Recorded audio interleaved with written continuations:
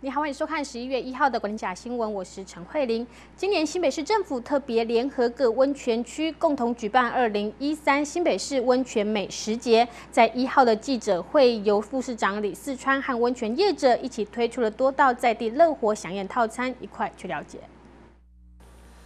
记者会一开始，首先由超级偶像七的歌手张婉儿现身，带来首度曝光的新北温泉舞。这是她特别为温泉节量身打造的趣味舞蹈。她表示，泡汤前先来段新北温泉舞，暖身动一动，有趣又安全。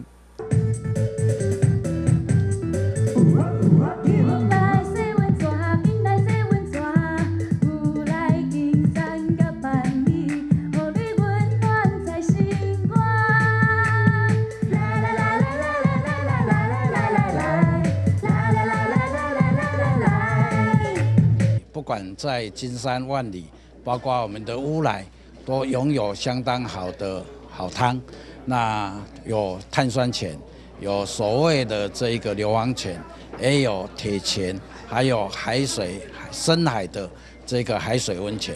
那我们这一次不但配合这个所有的泡汤，还有六十六家的所有的我们的业者来参与这一个。泡汤的这个提供美食，副市长李世川也在记者会现场发布可爱又有优惠的新北温泉小汤包手卖讯息，里头有泡汤时不可缺少的小方巾、温泉手册以及总额五八八元的消费抵用券，消费者可以用一二八元优惠价格购买，在温泉节期间当做现金抵用活动优惠方案，最多可享高达万元住宿四四折。伴手礼百元油枣等方案，有限量的这个汤包的这一个